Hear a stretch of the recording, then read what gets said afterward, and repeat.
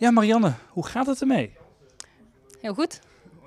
Van, oh, ja, gisteren, uh, want vanmorgen heb je niet het parcours verkend, gisteren wel. Uh, wat dacht je toen? Ja, we komen het parcours op en uh, het was nog niet bereden. Dus ja, het was gewoon nog zoeken naar, naar sporen en zoeken naar de ideale route. zwaar, het is, het is een zwaar parcours, lastig, technisch en ja, het wordt wel echt, echt de cross. Geen meter vlak geen meter vlak, maar vooral de, de schuine hellingen die maken, het, eh, die maken het heel lastig. Die maken het technisch en die zorgen ervoor dat je eigenlijk uh, continu op je hoede moet zijn. En, ja, en daarbij wordt het waarschijnlijk alleen nog maar slechter, dus nog meer lopen. Ja, ik ken Marianne Vos die in de hoogtijdagen wereldkampioen werd. Alsof het niks was. hoe goed is deze Marianne Vos dit weekend? Nou ja, ik voel me goed. Uh, maar ja, het is natuurlijk een, een andere, voor mij een andere voorbereiding geweest dan, dan ideaal gezien.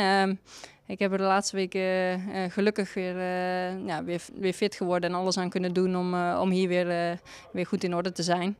Ehm, afgelopen weekend was het in Hogedij de laatste test en werd ik vierde. En was het nog niet op. Ehm, dus het is moeilijk, ja, moeilijk om dan te verwachten dat hier nu ineens heel veel beter gaat zijn. Maar ja, ik heb er alles aan gedaan en we gaan het zien toch, die vierde plek, dat geeft de burger denk ik dan toch wel moed dat er wel iets mogelijk is. Ja, ik was ook weer niet zo heel ver af en uh, dit is wel echt een, eh, echt een ander parcours.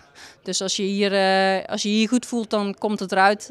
voel je iets minder, dan, dan zal dat ook direct in, in de positie of in de uitslag te zien zijn.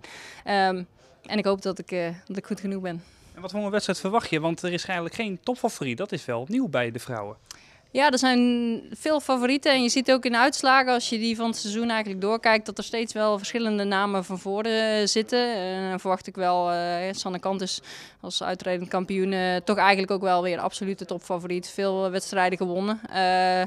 En ik denk dat zij ook hier heel goed in staat is om, om hier dit parcours onder controle te hebben. ze heeft goede inhoud, maar ook de goede techniek. Maar de mountainbikers ga ik, uh, ga ik zeker ook niet, uh, niet onderschatten. Die, uh, die zullen hier ook hard op kunnen halen.